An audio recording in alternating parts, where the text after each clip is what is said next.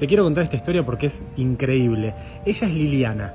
Ella falleció el día de su luna de miel en Austria. Su marido no falleció, pero el mismo día falleció su perro acá en Argentina.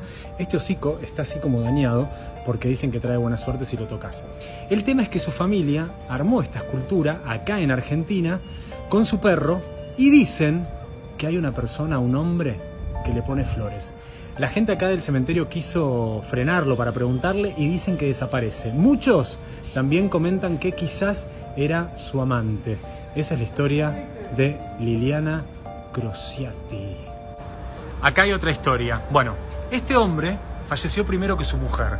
Y te lo cuento así porque en realidad Tiburcia, que es la mujer, creó este mausoleo y pidió estar de espaldas a su marido porque casi durante 20 años, mira, ahí está ella de espaldas a su marido.